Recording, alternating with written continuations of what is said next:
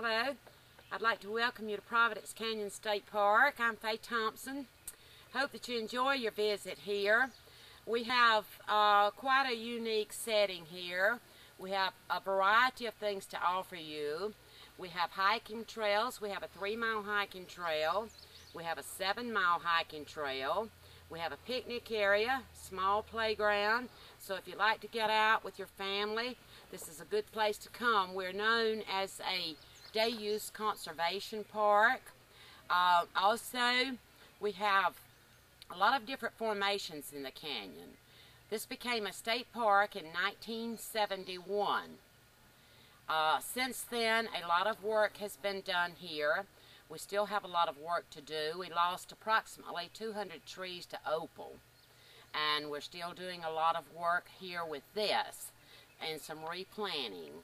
Um, we have a lot of different varieties of wild, uh, wildflowers. We do have a spring and a fall wildflower day. Also, we have our uh, famous Kudzu Takeover Day, which is August the 10th this year. So all of you that are interested in this, come on out. You can do your hiking. You can also uh, attend the Kudzu Day.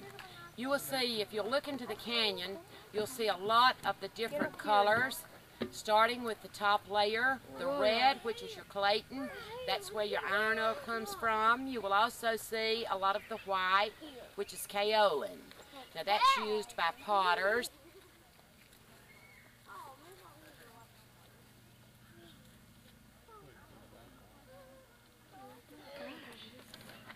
And they manufacture or mine a lot of that in Sandersville, Georgia.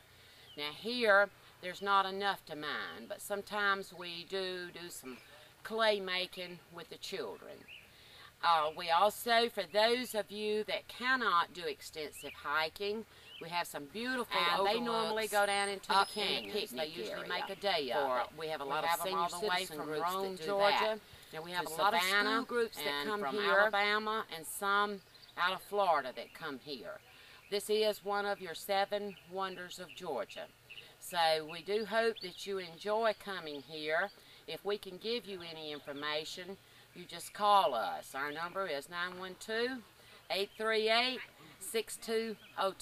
There will be somebody that will help you and try to help you understand about the trails. We call this trails moderate. And get in touch with us. You're in one of the most beautiful spots in the state of Georgia. Y'all come. Also, uh, we do guided hikes. We do like for you to call and let us know.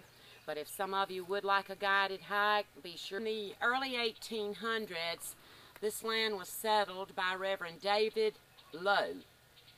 They were started planting cotton here, and eventually the land started eroding. Back in the early 1800s, people did not know much about how to keep your land. It started becoming gullies. They didn't know anything about um, leaving your land fallow, crop rotation, or contour plowing. And once the gullies started forming from the land being clear-cutted, they did not really know what to do with it. So the gullies then became what they call big ditches. The big ditches then became the canyons. And in the canyons, there are nine fingers in it, what we call nine fingers on the three mile trail that you can go into. They're block canyons, so you just turn around and come back. Now, the seven mile trail is mostly wooded backcountry, although you do go across six canyons and down in one. Now, the settlers, when they did come here, finally they just gave up this land or sold the land off. And uh, then it became the state park. The church, Providence Church, that sits across the road here at the canyon, it does not belong to the canyon, but this was the church that the canyon is named from, is the Providence Church, and this is where the canyon got its name.